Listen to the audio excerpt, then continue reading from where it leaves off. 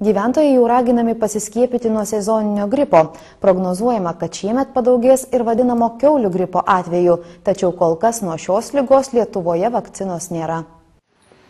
Sveikatos apsaugos ministerijos duomenimis sergamumas keulių gripu Lietuvoje išlieka vienas mažiausių Europoje. Mažiau už Lietuvą susirgymų skaičiuojant sergamumo rodiklį tenkantį šimtai tūkstančių gyventojų užfiksuota tik Lenkijoje ir Bulgarijoje. Ekspertai prognozuoja, kad sergamumas naujuoju gripu visoje Europoje, taip pat ir Lietuvoje išauks rudenį. Tačiau vakcinos nuo šio gripo priešingai nei nuo sezoninio kol kas Lietuvoje nėra. Čia yra didelė problema, kadangi keulių gripas kas yra? Yra mišinys keulių, paukščių ir žmonių gripo genų. Ir jam sukurti vakciną yra be galo sunku. Vakcina jau yra, bet jinai yra dar nepatikrinta klinikinėje praktikoje.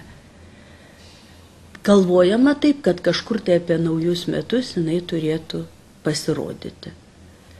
O sezoniniam gripui, turbūt visi žinot, yra kasmetinė vakcina ir mes visada rekomenduojam iki spalio pirmos pasiskiepyti. Pasak gydytojo, šiuo metu gyventojai jau gali pasiskiepyti nuo sezoninio gripo. Ypač tai svarbu padaryti rizikos grupiai priklausantiems žmonėms. Tačiau, kaip pastebima, žmonės aktyviai skiepijasi tik tose šalise, kuriuose praužė ne viena gripo epidemijos banga.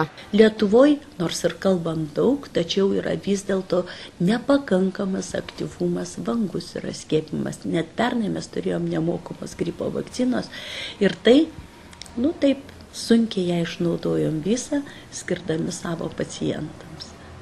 Ypač vyresnio amžiaus žmonėm, kadangi buvo skiepijamos rizikos grupės vyresnio ir, ir vaikų. Žodžiu, skiepijimuose tradicijos ne visada priklauso vieno medicinės visuomenės, čia švietimas reikalingas didesnis. Kol kas nėra aišku, ar šiais metais, kaip ir ankstesniais, bus nemokamai skiepijami rizikos grupiai priklausantis asmenys.